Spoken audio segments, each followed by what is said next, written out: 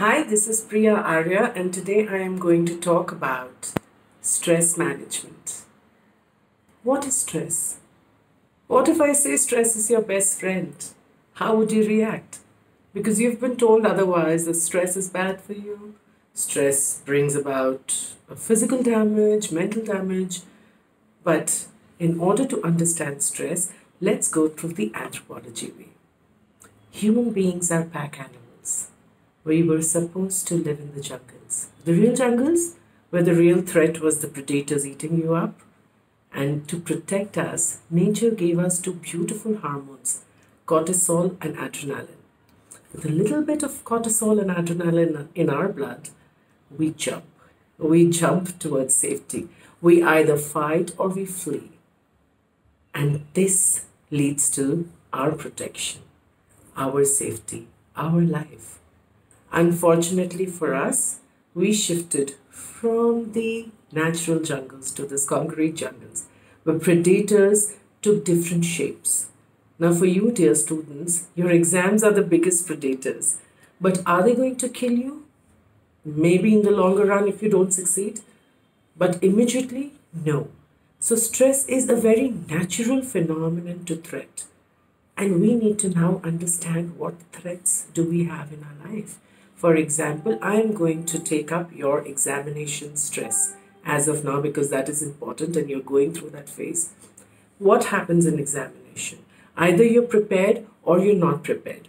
If you're not prepared, obviously you're going to have higher levels of stress because of anxiety, because of different thought processes that you go through, because you are not prepared. The only way to combat stress is being prepared for your exams. And now I'm going to just let you know how do you prepare for your exams? How do you make sure that you're exceeding? How do you make sure that you are competent enough to move forward in this entire world? My dear child, remember one thing you cannot be good at everything. So if you're not good at a few things, do not stress about it. Just practice a little more. So I'm going to give you five, six pointers here. Firstly, you need to focus. You need to have a plan. What is your plan? Where is the discipline? Are we giving the, the quality time, not the quantity? I don't want you giving 24 hours for studies because that's again going to create a lot of stress. You need time for yourself. Also, that me time is very important. So, plan your day, plan your hours. Give one hour to your studies, one hour.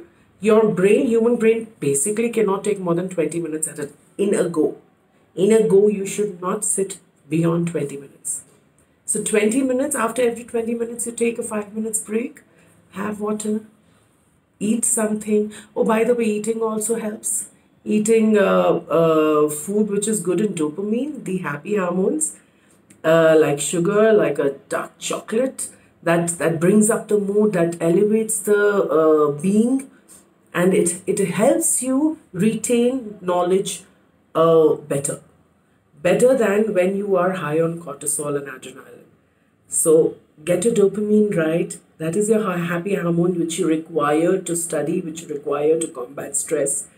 Uh, after every 20 minutes, take a break. Just step away, close your eyes for five minutes, come back again. 20 20 minutes. Your brain does not have the capacity to study beyond 20 minutes. Five minutes break after every 20 minutes is your first step. Second, first step is planning. Second step is timing. Third step is practicing. When you learn something new, it remains in your system for the next two weeks.